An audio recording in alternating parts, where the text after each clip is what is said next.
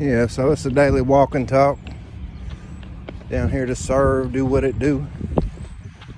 Go ahead and hit that like if you like. Go ahead and hit that subscribe if you subscribe. You know, we on the global tribe. but uh nah man. I want to share a couple pearls of wisdom that I have today that I've acquired from experience.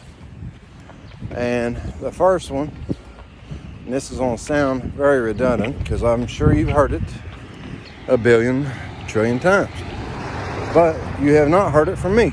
So it's that new new. So here it is. Don't be afraid to make mistakes. Street Smarts lesson one of Street Smarts Class 101. Don't be afraid to make mistakes. Because uh, that's what we learn from. You know, if, if here's the trick to super successful people, super successful people are very active. They're always doing something. Always.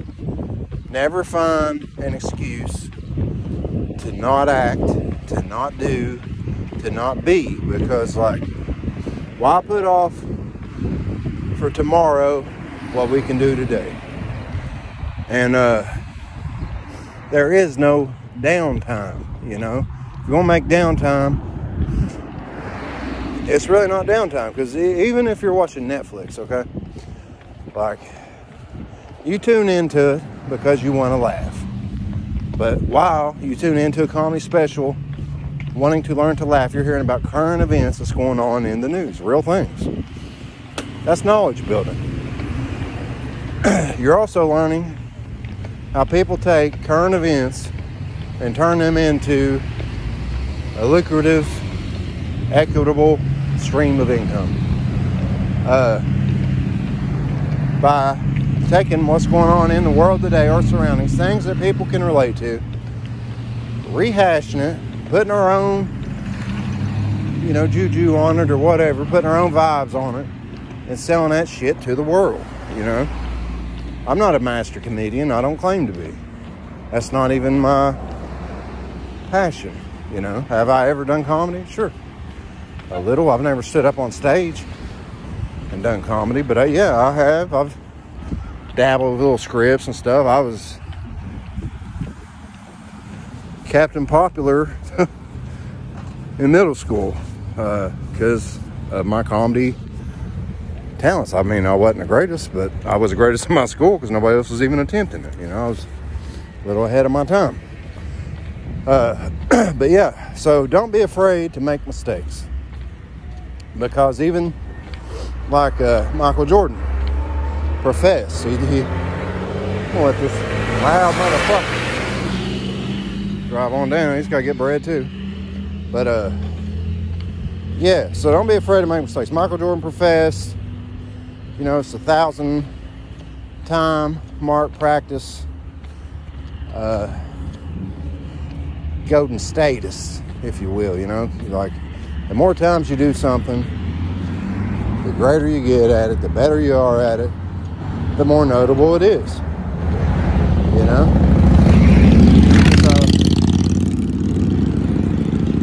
this is the second golden nugget, a pearl of wisdom I'm going to share with you all.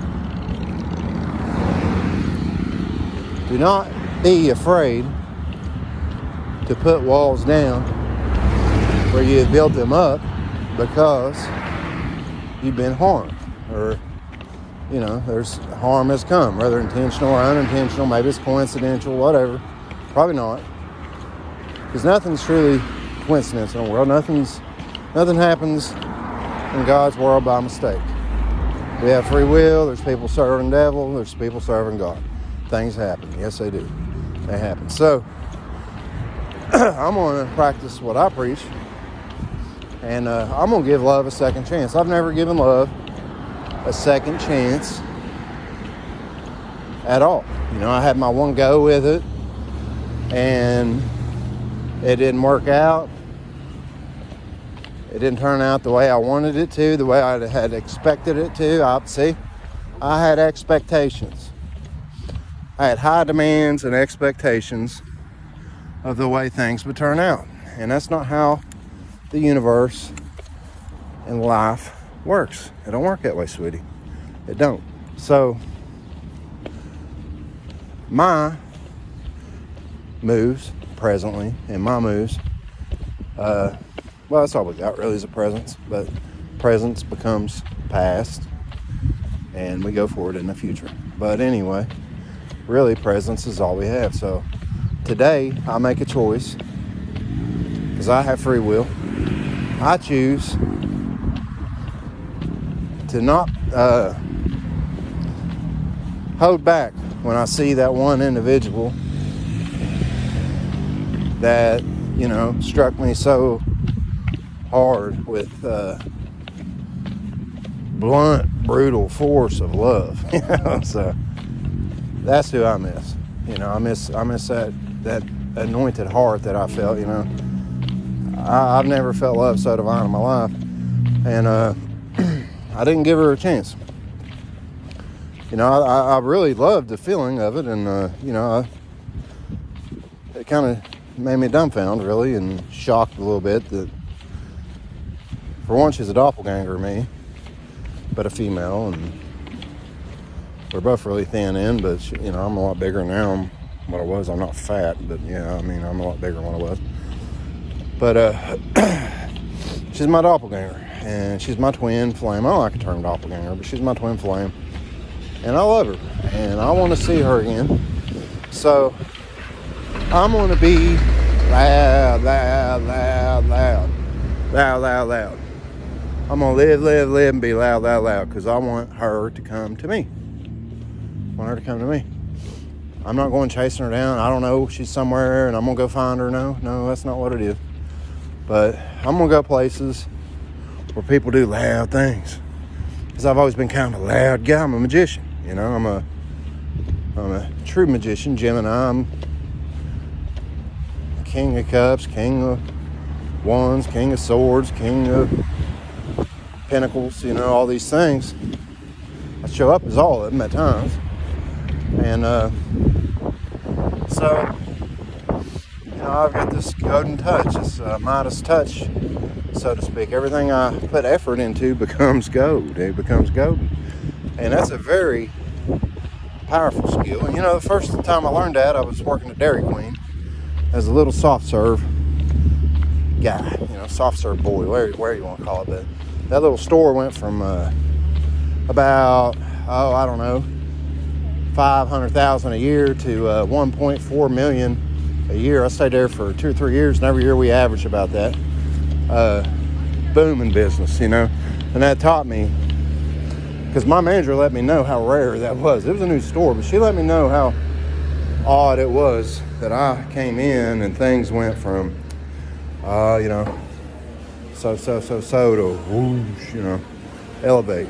Uh, and I started paying attention to that fact. Wow, I do sell a lot of ice cream. Wow, you know, these people do want me to handle my ice cream. Kind of like that right there. See that line? Look at that line as I talk about these things. And look at all these lines. These lines here, you see the people? They're not really doing nothing right now.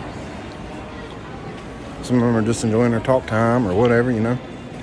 Okay. Do that.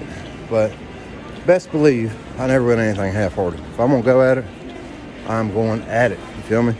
So that's cool.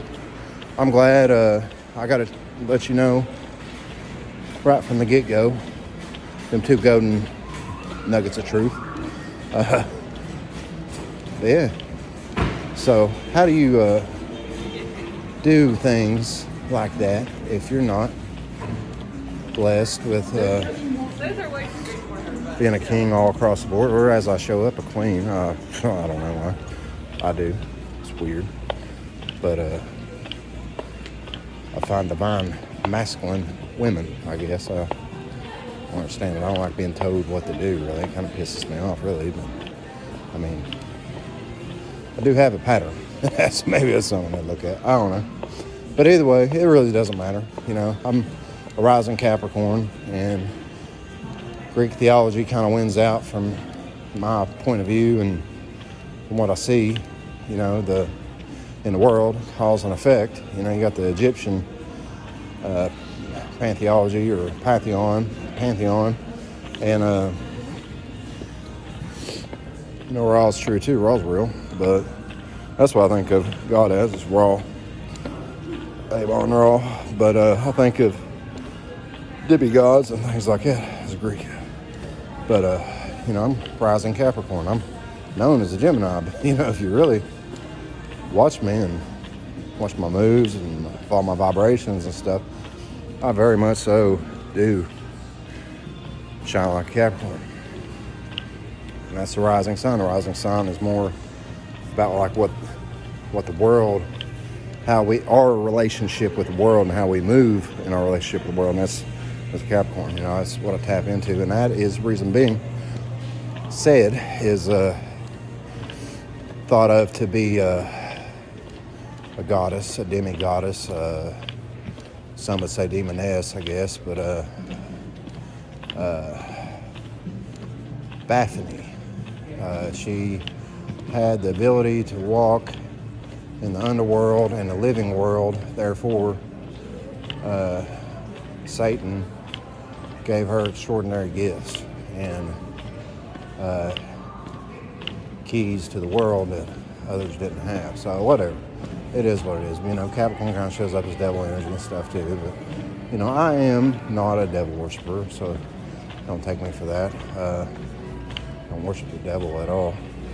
But I do spiritual things, and I do pray, and I do cleanse my soul and my spirit, and I do pray to God. I do, and uh, I do believe in Jesus Christ, and I believe He died on the cross for my sins, and I believe in all things. I do. But you know, He ain't gonna go walk down here and get this coffee for me. You know what I mean? I got to do that. So. I'll see y'all later.